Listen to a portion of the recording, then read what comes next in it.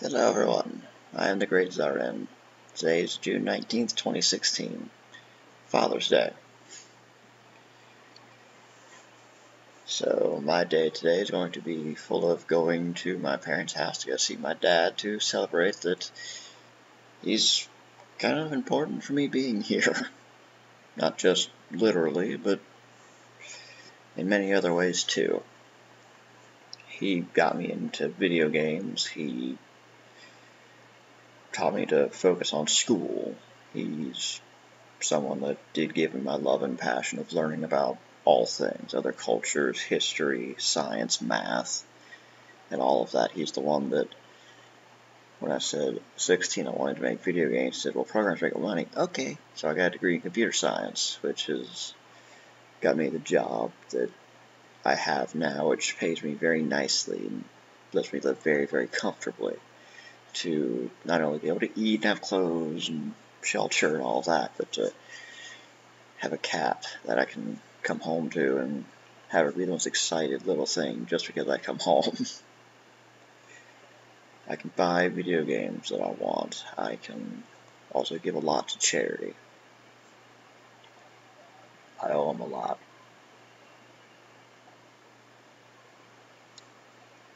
He was a great dad, and he still is. And one day I'll give him grandchildren so he can be a wonderful grandfather as well.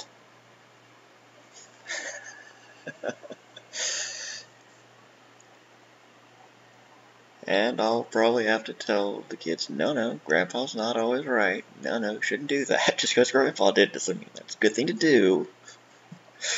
Although I find it funny, you you probably shouldn't for another couple of years. He was fantastic. He was, because he worked at a job that he hated. He absolutely hated the job that he had for nearly 18 years. It was a job that moved my mom, my dad, myself to North Carolina when I was six years old. It's been 20 years now, actually. Hadn't thought about that. I thought about it earlier in the year, but I just now realized that, yeah, it was about this time in 1996 that we moved down here. Which, as my friend told me, like, you pretty much are a southerner. You've lived here for 20 years now, you know. but yeah, my dad was willing to get a job in another state. You know, he hated the job. At a certain point, he was working seven days a week, eight hours a day, to be sure that my mom, my brother, and myself had food, could keep the house that we had, and we could live comfortably.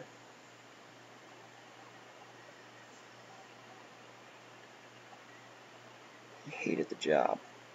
Killed his soul to do that.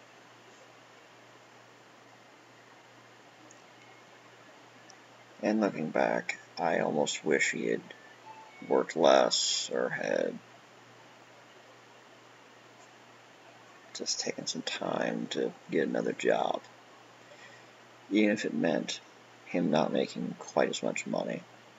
I think that it would have been great because he would have been happier at home. He wouldn't have been so angry all the time.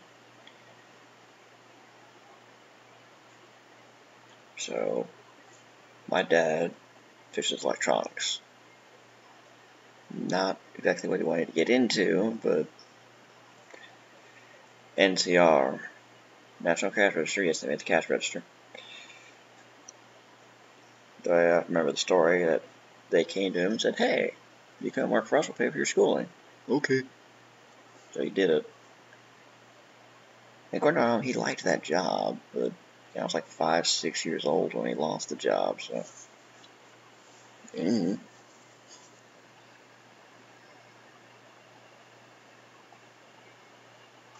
But yeah, he did that job. And he never physically, literally brought work home, but he brought work home. And it would have been preferable for him to gotten another job somehow. I don't even know the details of it, but he would have been happier. I know that in the past year or so, maybe, maybe a little bit longer, I'd say at least roughly a year, he's been a lot happier. And he's still doing about the same thing, but he's allowed to learn. He's not around quite as many idiots, it sounds like.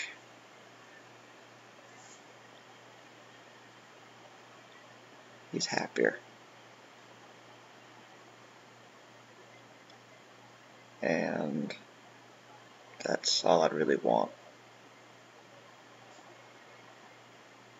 I wouldn't want him to make a million dollars a year and be able to support me for life or anything. Just want him to be able to be at home and relax and be happy.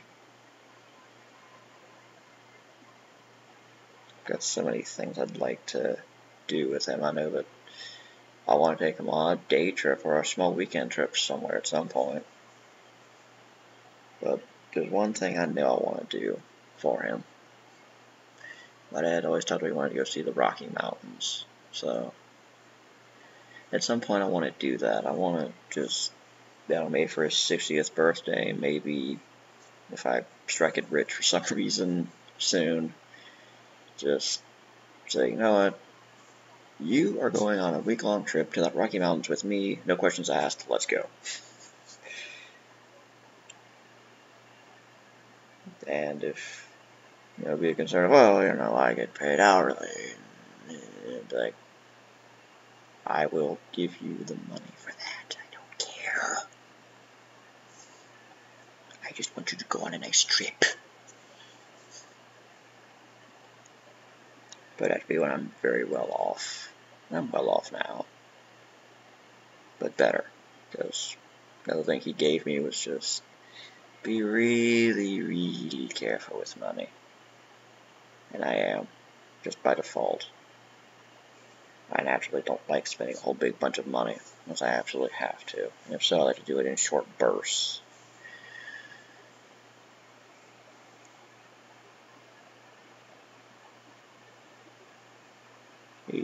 Gave me, a, it can be declared either a great caution or a great paranoia about money, whichever you want to call it. And caution and paranoia is probably on a thin line anyway. So, but I'm here. I'm able to help somebody else with a decent amount of help. I can give them quite a bit of money, which for them is starting to not be a small amount, but for me, I'm like, alright, yeah, here. you know.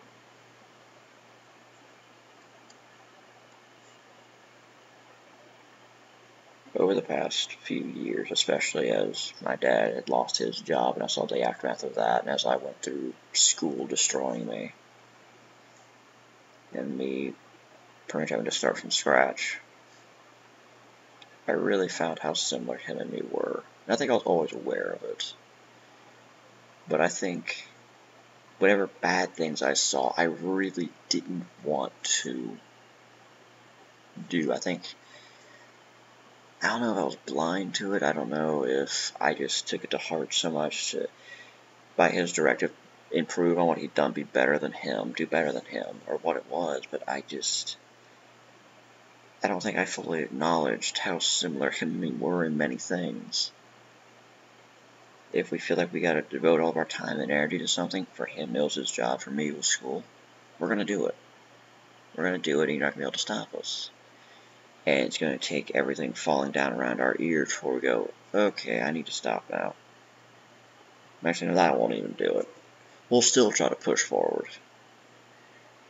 I think after my dad had that job for nearly 18 years, after I'd been in school for about 18 years, and school beat me down the last two or three of that those those years. We both needed to stop. we both needed a few months at least where we just said, okay, we do nothing else except rest and recover our souls.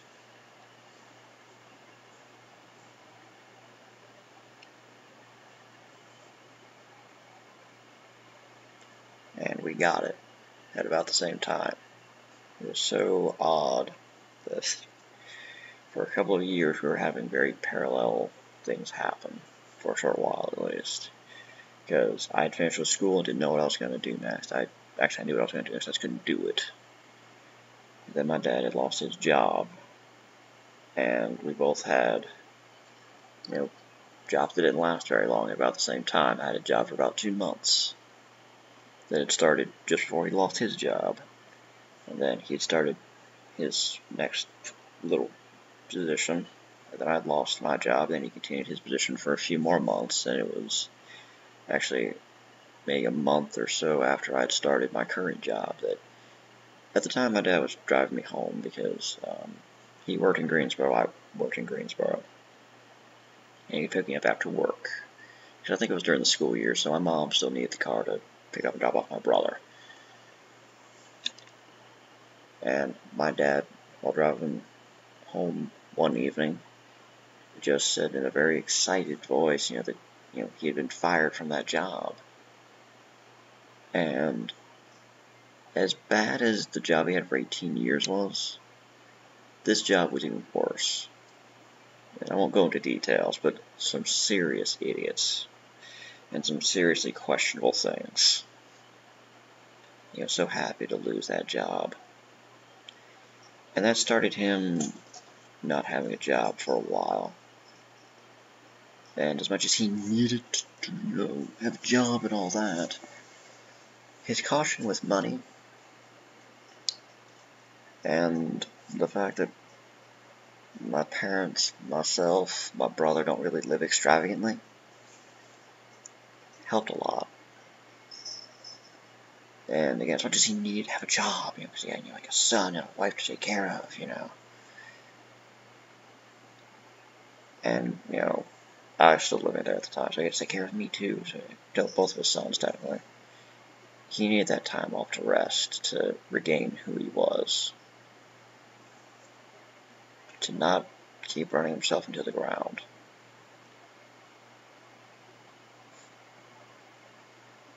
And because of that and because of the job that he has, he's allowed to be my dad. He's allowed to be my hero again.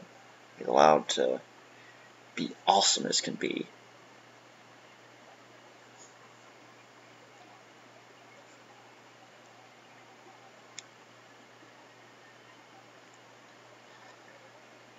Just think about all the funny things he does. So, like, just for example, my dad will every once in a while buy a lottery ticket. Like, well, you know, I get this much after taxes. You know, he just he's got it down and all that. You know, I'm pretty sure he's got you know like a 20 step plan for how he'd spend all it. You know, he'd you know pay off this and do that and give this people so much money and people that much money. You know.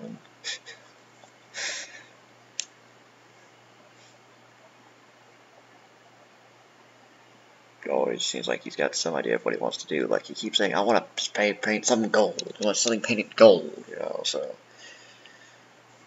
at some point I'm gonna give him something that's painted gold. I don't know what it is, but something can get painted gold at some point. That's a about as much of a guarantee as I can give. Something can get painted gold.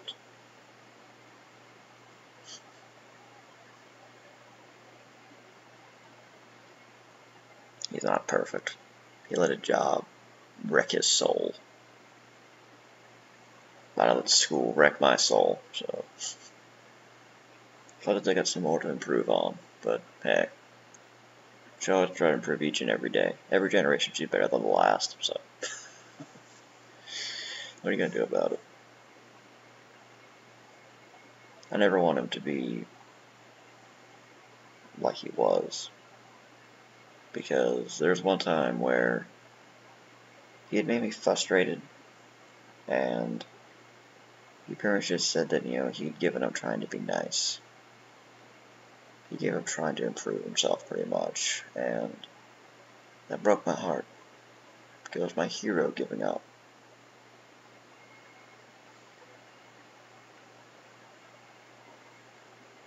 And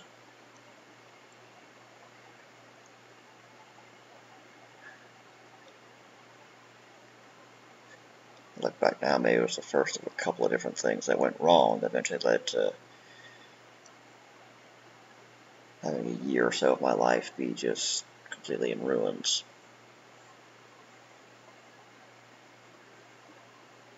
But whether he's going to actively be trying to improve himself all the time or not, he's able to be himself again.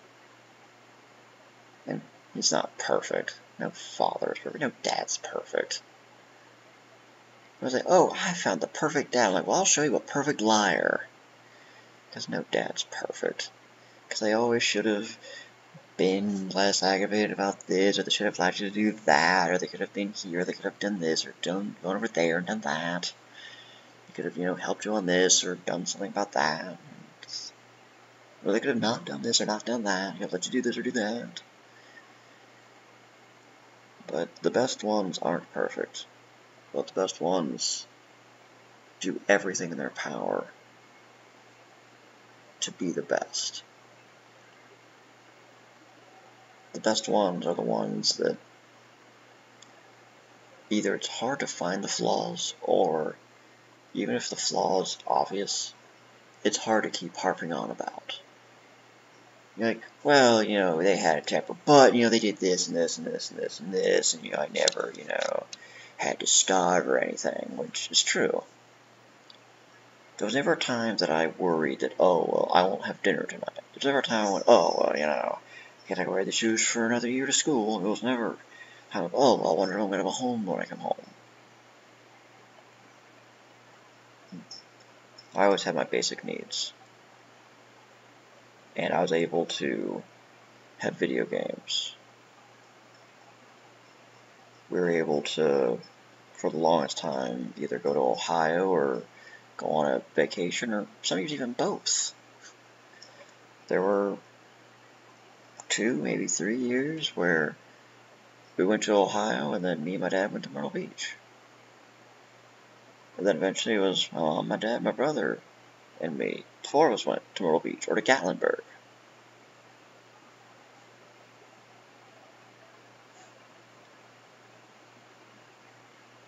Was great.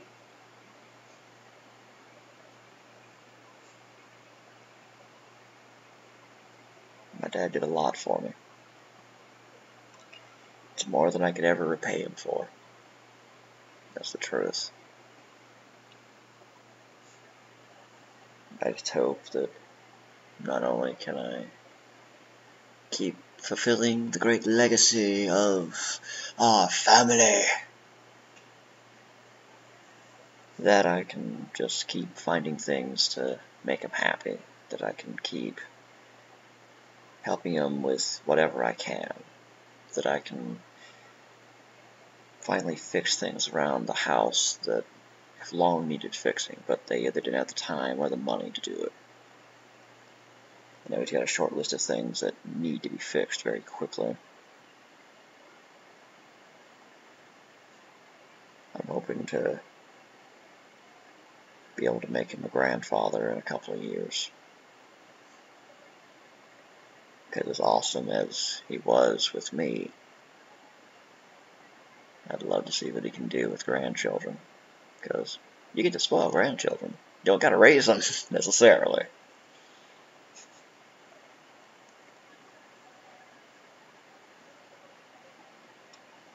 So,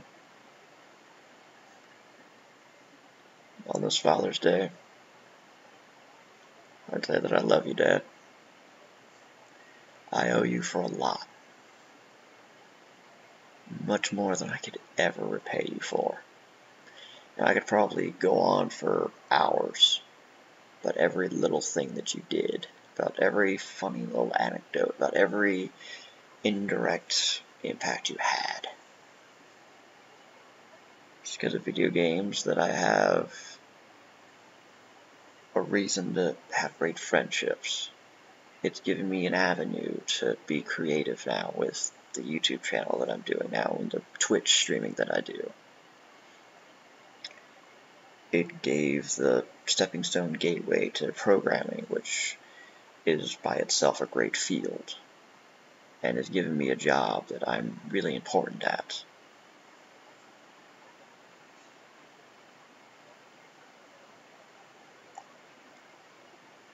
You've done a lot right.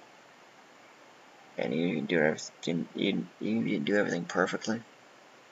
It doesn't matter. You did everything in your power. If you do your very best, what more can you ask for? Impossible.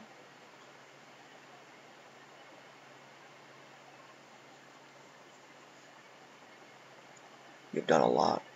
As I said, I can't repay you for it, Dad. Just try to take care of yourself. I'm more than willing to help with that as well, because I owe you.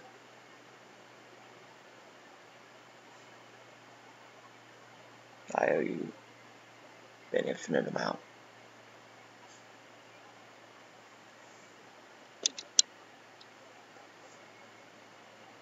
So happy Father's Day. I love you, Dad. And I'll see the rest of you later.